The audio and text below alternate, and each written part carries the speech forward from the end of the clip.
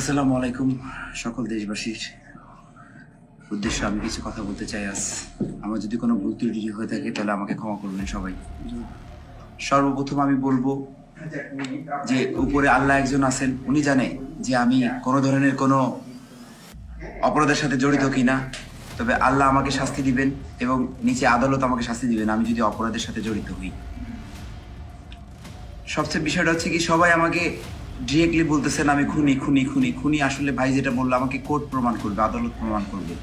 আমাকে এইভাবে সাংবাদিক ভাইরা প্রমাণ করতে পারে না যে আমি খুনি। বলতে পারে না। তো যাই হোক, আমার যারা প্রবাসীরা, ভাই, ভাইরা আছেন, আমি দেখলাম মানে হান্ড্রেড পার্সেন্ট, আমি আমি এক পার্সেন্ট দেখলাম না যে আমার বিপক্ষে কেউ কথা বলেছে। যারা আছে সবাই আমার পাশে দাঁড়িয়েছেন। আসলে আমি, আমার এখানে একশো কর্মসংস্থান আছে। আমি যাদের প্রত্যেক মাসে যে একটা স্যালারি দিচ্ছি, সেই স্যালারি দিয়ে তাদের পুরো পরিবার চলতেছে। অবশ্যই এটা তাদের টাকা, সে কাজ করতেছে, তাদের টাকা দিয়ে তারা বাড়ি পাঠাচ্ছে। কিন্তু ধরেন আজকে আমি একটা বিপদে পড়লাম। এই একশো মানুষের ফ্যামিলি আছে মিনিমাম এক একটা ফ্যামিলিতে আট দশজন করে, ধরেন এক হাজার মানুষ, আটশো মানুষ। এরা কোথায় যাবে? আজকে আমি বিপদে পড়লে তো আমার পুরো কোম্পানি বিপদ। মানে আমার পুরো, এই একশো মানুষ যারা আমার সাথে কাজ করে, তারা তো পুরোটাই আমার ফ্যামিলি আমার যারা সহযোদ্ধা, যারা আমার কাছে চাকরি করে, তারা আমার পরিবার, আমার আমার আমার মনে হয়। কারণ কি, আজকে আমার কিছু হলে তারা কোথায় যাবে? তো আপনাদের কাছে এতটুকুই বলব, আমি ন্যায্য বিচার চাই। যদি বলেন, বাংলাদেশ সরকার আমাকে যদি সুযোগ করে দেয় যে বাংলাদেশে এসে আপনার কেস লড়ার মতন কোনো একটা সুযোগ করে দেয়, আমি চলে আসব। তবে আমার প্রবাসী ভাইদের কাছে একটাই আমার দাবি, যে আপনারা যেভাবে আমার পাশে আছেন, সেভাবেই পাশে থাকবেন। আমার জন্য দোয়া করবেন। উপরে একজন তো আছেন, মহান আল্লাহ তাআলা, উনি জানেন আমি অপরাধী কি না আরাফ খানকে নিয়ে অনেক আলোচনা হচ্ছে। অনেককে ভাবতে পারেন যে এতদিন পরে আমি এটা নিয়ে লাইভ করছি কেন? আরাফ খানকে নিয়ে আসলে প্রতিদিনই আমরা দেখছি নতুন নতুন কিছু না কিছু তথ্য যোগ হচ্ছে। যেমন আজকে খবরে দেখলাম যে উনি বাংলাদেশে এর মধ্যে বেশ কয়েকবার এসছেন। লাস্ট এসছেন এই ফেব্রুয়ারি মাসে। মার্চ মাস চলছে ফেব্রুয়ারিতে তিনি বাংলাদেশে এসছেন। বাংলাদেশে এসে তিনি লাইভ করেছেন। অর্থাৎ তিনি কিন্তু লুকিয়েও ছিলেন না, তিনি কোথাও পলাতকও ছিলেন না। তিনি লাইভ করেছেন। আজকে প্রথম আলোতে খবর দেখলাম যে দুবাইয়ে বাংলাদেশে যে কনসুলার আছেন, তার একটা অনুষ্ঠানে তিনি সম্মাননা প্রদান করেন আরাফ খানকে। পরে যখন তাকে প্রশ্ন করা হয় যে তিনি কেন আরাফ খানকে সম্মাননা কি কারণে প্রদান করা হচ্ছে, তখন বলা হয়েছিল, তাকে নাকি জানানো হয়েছিল যে যেহেতু আরাফ খান এই প্রোগ্রামটার স্পন্সর, সেজন্য তাকে এই সম্মাননা দেওয়া হচ্ছে। অর্থাৎ দুবাইয়ে বাংলাদেশের যে কনসুলার আছেন, তারাও কিন্তু পুরো বিষয়টা জানতেন। আমার প্রশ্ন হচ্ছে বাংলাদেশের একজন নাগরিক এবং স্পেশালি একজন পুলিশ অফিসারের খুনের সঙ্গে যার নাম জড়িত, তিনি কি করে দুবাইয়ে নিশ্চিন্তে বছরের পর বছর পার করেন? দু হাজার আঠেরো সাল থেকে দু হাজার তেইশ সাল, পাঁচ বছর তিনি নিশ্চিন্তে দুবাইয়ে আছেন এবং দুবাইয়ে তিনি কোনো লুকাছাপা করেও নাই। গণমাধ্যমে দেখলাম যে তিনি দুবাইতে বেশ জাঁকজমকপূর্ণ জীবনযাপন করেন। বুর্জ আল খলিফাতে তার ফ্ল্যাট আছে।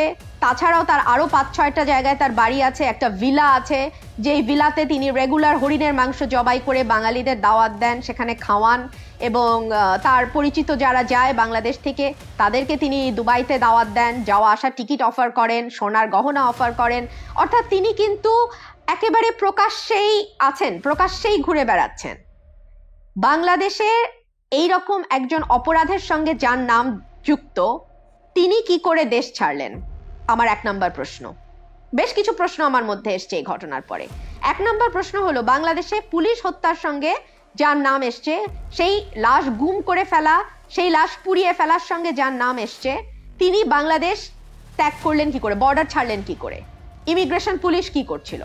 আমরা যখন বিদেশে যাই, বিরোধী দলের কর্মীরা আমাদেরকে দফায় দফায় হেনস্থা করা হয়। বিদেশে যাওয়ার আলাদা কোর্ট অর্ডার আছে আমার, যে আমি যে কোনো সময় বিদেশ যেতে পারি। এই মর্মে আমি আলাদা কোর্ট থেকে আদা আলাদা মামলা করে আদেশ নিয়েছি। কারণ আমাকে বিদেশে যেতে দেওয়া হচ্ছিল না। কোনো কারণ ছাড়া। কোনো কারণ দেখানো হয়নি কেন আমাকে দেশ ছাড়তে দেওয়া হচ্ছে না। আমাকে আলাদা অর্ডার নিয়ে দেশের বাইরে যেতে হয়। এরকম আমার মতো আরও অনেকেই আছেন যারা বিরোধী দলের রাজনীতির সঙ্গে যুক্ত। তারা কিন্তু চাইলেই চিকিৎসার জন্য বা হজের জন্য বা ওমরার জন্য দেশের বাইরে যেতে পারেন না। তাদের আলাদা কোর্ট অর্ডার লাগে এবং কোর্ট অর্ডার থাকা সত্ত্বেও আমাদের ঘণ্টার পর ঘণ্টা বিমানবন্দরে অপেক্ষা করতে হয়। আমাদের যে এজেন্সিগুলো আছে ডিজিএফআই এনএসআই এসবি ডিবি তাদের সবার ক্লিয়ারেন্স লাগে বাংলাদেশ ছাড়তে হলে। আমরা রাজনীতি করি, রাজনীতিবিদ। আমাদের নামে কোনো রকম এই ধরনের কোনো মামলা নাই, কিন্তু আমরা দেশ ছাড়তে গেলে আমাদের ক্লিয়ারেন্স লাগে। সেখানে আরাফ খান যিনি একসঙ্গে চারটা, পাঁচটা নামে ওরফে ওরফে ওরফে ওরফে করে চলেন। কখনো ইউসুফ, কখনো রিদি, কখনো সোহাগ যখন যেই নাম তার সুবিধা হয়, সেই নাম নিয়ে তিনি চলেন। তিনি বাংলাদেশের বর্ডার পার হলেন কি করে? নাম্বার ওয়ান নাম্বার টু এই খুনের মামলার চলমান। এই চলমান থাকা অবস্থায় তিনি বাংলাদেশে এসছেন ভারতীয় পাসপোর্ট ব্যবহার করে। ভারতীয় পাসপোর্ট যদি তিনি ব্যবহার করেন, তাহলে তাকে বাংলাদেশের ভিসা নিতে হয়েছে। এই ভিসা নেওয়ার সময় এম্বাসি কি করে তাকে ভিসা দিল? ভিসা ছাড়া তো তিনি বাংলাদেশে আসেন নাই। তিনি গত বছরও এসছেন, তিনি এই বছরও ফেব্রুয়ারিতে এসছেন। ভিসা ছাড়া তো তিনি বাংলাদেশে ঢুকতে পারেন না। এই ভিসা তাকে কি করে দেয়া হলো?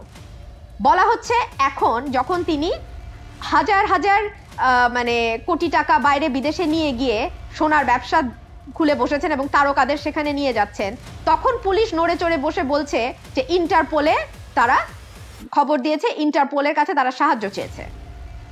গত পাঁচ বছর ইন্টারপোলের কাছে সাহায্য চাওয়া হলো না কেন? তাহলে কি এটাই সঠিক? যে পুলিশের একজন ঊর্ধ্বতন কর্মকর্তার প্রত্যক্ষ সহযোগিতায় তিনি দেশের বাইরে গেছেন এবং আজকে তার যেই জাঁকজমকপূর্ণ, চাকচিক্যপূর্ণ জীবন আমরা দেখছি, তার যেই মানে হাজার কোটি টাকার ব্যবসা দেখছি, এগুলো তার মানে সেই লোকের টাকা, সেই টাকাকে তার মাধ্যমে দেশের বাইরে পাচার করা হয়েছে। এই পাচারের সঙ্গে তার মানে পুলিশের একজন ঊর্ধ্বতন কর্মকর্তাও জড়িত। যদিও দেখলাম তিনি সম্প্রতি তার ভেরিফাইড ফেসবুক ফেসবুকে স্ট্যাটাস দিয়েছেন যে তিনি আরব নামের কাউকে চেনেন না। এটা দিয়েই সম্ভবত তিনি আরও স্পষ্ট করলেন যে তা তিনি এই ঘটনার সঙ্গে কোনো না কোনোভাবে জড়িত।